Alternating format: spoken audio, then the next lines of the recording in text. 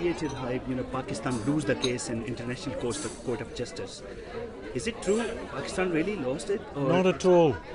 I have been speaking to many of your colleagues about this, and it's very unfortunate that the Pakistani media seems to blindly accept what's being put on the web by the Indian media. So here's a message for the Pakistani media please be careful what you print, please be careful what you say. Think. Because India didn't win. On Monday, what happened was the court decided that for a full hearing to be effective, it was necessary for Commander Jadhav not to be executed. And that makes complete sense. That's all that's happened. The full hearing will take place maybe in six months.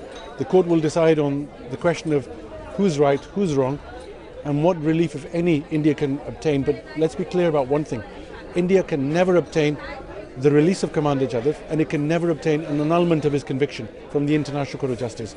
This is clear from three cases that were brought against the United States of America.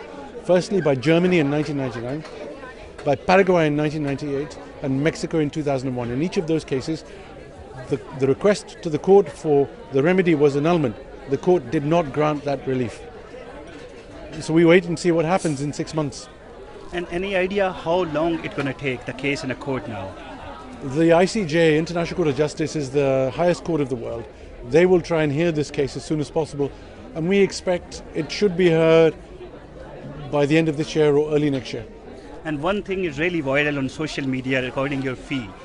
You know, the Indian lawyer just took one pound and uh, you took five uh, hundred, uh, thousand hundred or something like that. It's really sad that I have to answer such stupid questions.